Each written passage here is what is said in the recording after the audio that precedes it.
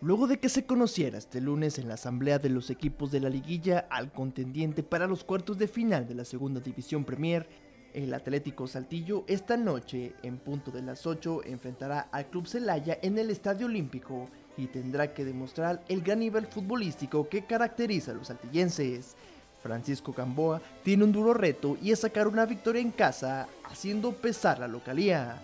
Aunque Celaya no representa un obstáculo para los locales, es de vital importancia este primer juego, que les dé la ventaja para la siguiente semana, donde se jugará el partido de vuelta en el Estadio de los Toros. Y hoy, más que nunca, hay que asistir al Estadio Olímpico para apoyar al equipo de casa en los cuartos de final de la Segunda División Premier. Para RCG Deportes, Juan Sánchez.